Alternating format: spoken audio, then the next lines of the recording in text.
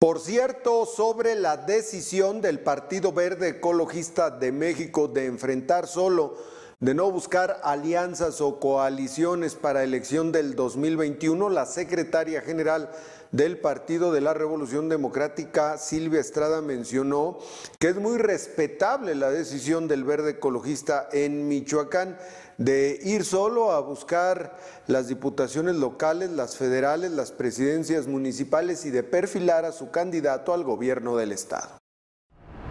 Pues siempre hemos dicho desde el seno del Partido de la Revolución Democrática que busquemos las mejores alianzas que benefician a Michoacán. Es respetable esta decisión del verde ecologista que ha decidido postular un buen perfil. Creemos que lo mejor para todos los michoacanos es que cada instituto político de manera responsable podamos postular a los mejores y a las mejoras a las mejores michoacanas.